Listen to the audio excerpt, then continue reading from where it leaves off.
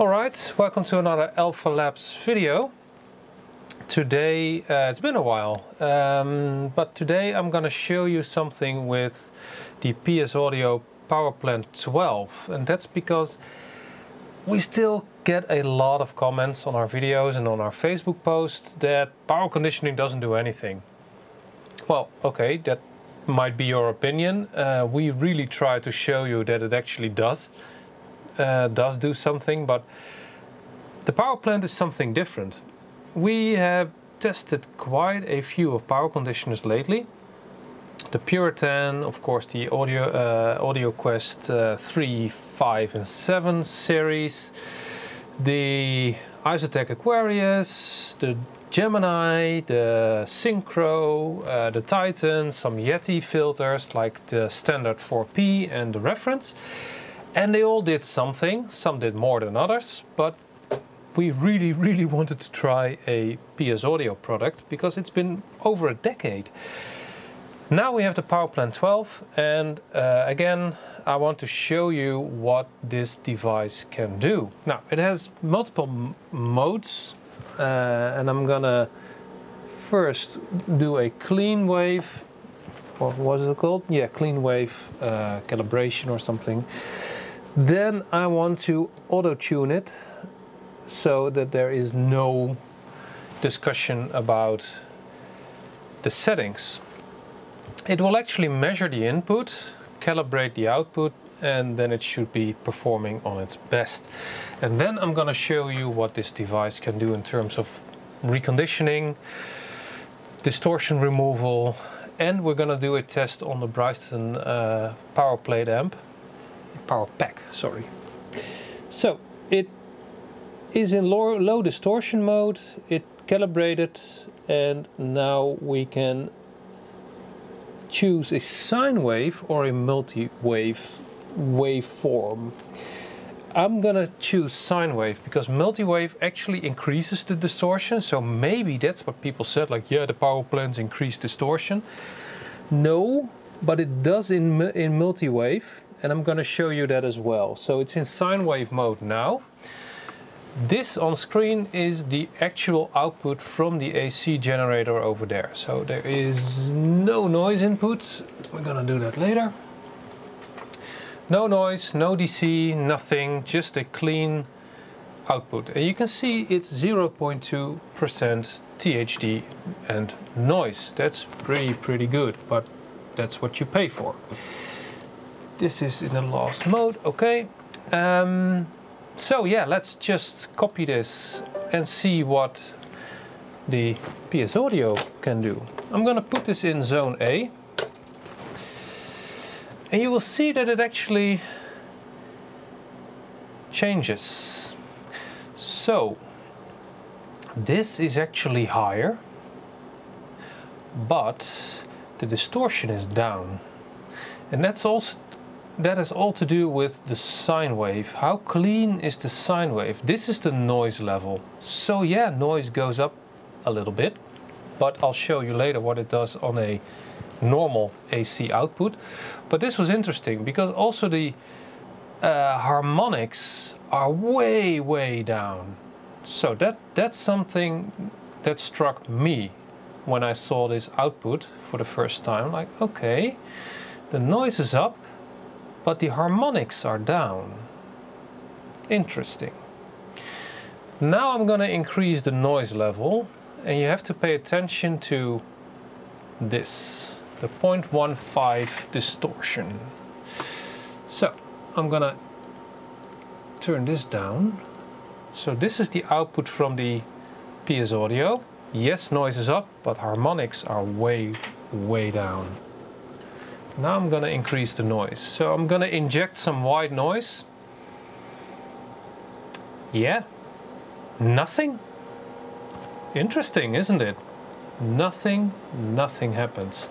And you can hear that the AC generating is working its ass off right now. Now I'm going to show you what it does to the grid. Ooh, now that's actually going up a lot. So I'm gonna turn this down. This was the original So you can see on the normal grid the noise went up dramatically, like 20 decibels at least. The harmonics went up, but actually on the PS Audio it's exactly the same. So this one is completely stable nothing on the grid. And you can see that the noise now is 1.8% THD and noise. And if I switch this off, it goes down to 0.2. Uh, if I switch it on, it's 1.8. Now with the PS Audio, it's still 0.18, 0.2, 0.18. So that's what this does. It's always stable, regardless of how shitty your AC grid is, it will always, always, always be the same. Now, that's something. So does it do something? I think so. it definitely does something. Uh, we experimented in uh, with some other waveforms. I even fed it a uh, triangle wave and it actually made it a sine wave. So you can do some really freaky shit with this uh, PS Audio power plant. And it's always the same output. And that's the thing with uh, regenerators like this, at least if they're well built, it will always be the same output, regardless of the input. Now I have to be really careful when I do this, but I'm gonna inject some DC because it doesn't really like that, I noticed. But let's see what happens. I'm gonna move the copied things away. I'm gonna copy this so you can see what actually happens. So we're looking at the uh, PS Audio Power Plant 12 output right now. This is the output of this. So this is noise floor, and this is the sine wave. DCE doesn't really like that. You will hear it in a second. Um, like I predicted, nothing happens, and there's actually one volt of DC going in right now, uh, and it's completely agnostic if I, as you can see, nothing happens. If I put it in the normal output, you will see all the harmonics are like, they shoot up. They're, really, really high right now.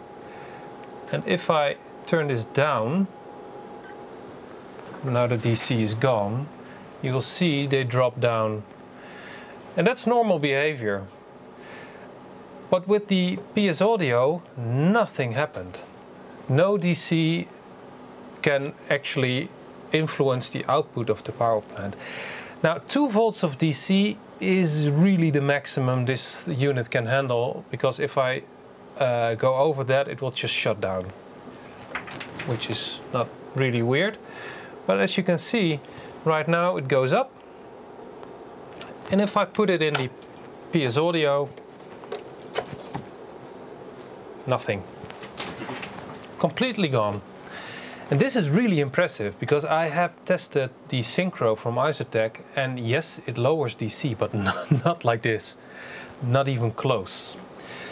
Now, this is all synthetic tests, uh, really interesting and all, but um, what happens if I actually connect an amplifier to it? Will it lower the distortion on the output? Well, let's see. Now we are measuring the output of the Bryston PowerPack 300 amplifier.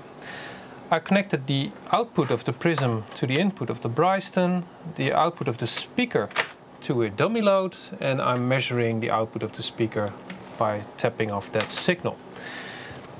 Now you can see it has to warm up a little bit I think.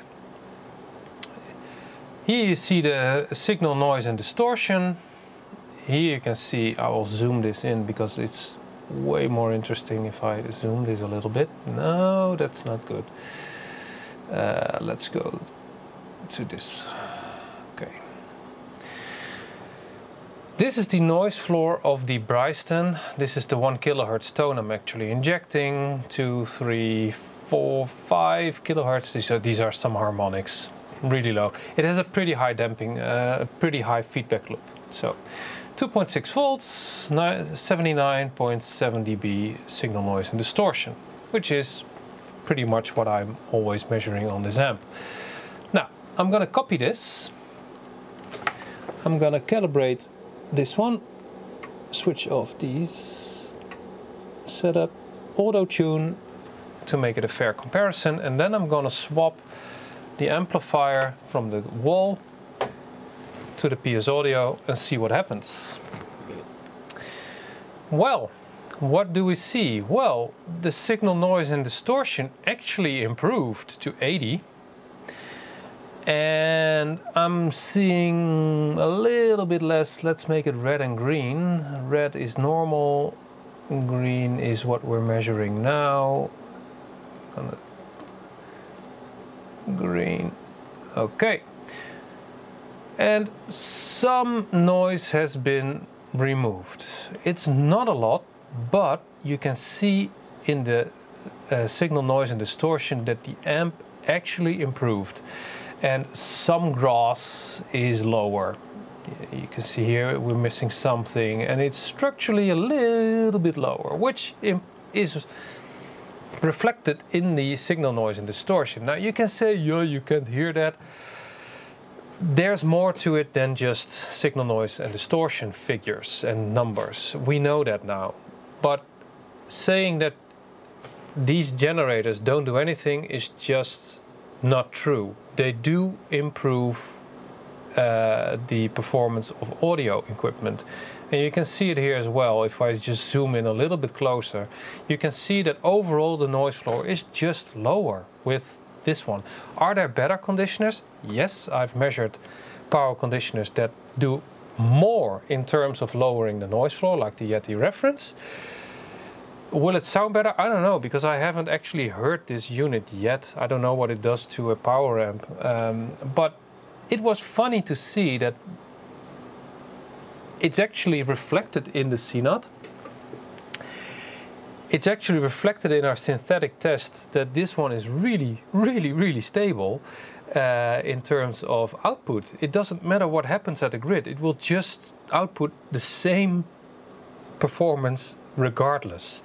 And uh, I can actually show you the difference because, because it's, it's funny uh, if you measure the normal grid and then go to this unit. uh, let's see what happens uh, because this is not the right one. If I measure the normal grid now, you will see it's not really clean at all. It's 1.45-ish, which is not bad. I've seen worse. Uh, but if I put, I mean, this is a realistic output. And if I then put it in the PS Audio, now you see what it does to a normal grid. And it's 0.35-ish. And the Synodio wave you can see actually some DC on here because it's flattened and now it's perfectly round. And if I zoom in in the relevant part of the spectrum, like here, you can see the distortion is just way, way down. And that's impressive because this this is what makes the, the blackness in the in the uh, music you hear, I think. I mean, I've measured a lot of power conditioners and this is mostly what impacts the blackness in the, in the music. Of course, your equipment has to match, but yeah, you can see it on the Bryston as well. The noise floor just goes down. I mean, well, this is what I wanted to show you. Yes, there is a big difference in power conditioning. Yes, they do something. Yes, it's measurable, even on the speaker output. So um, yeah, thank you for watching. See you next time. Bye-bye.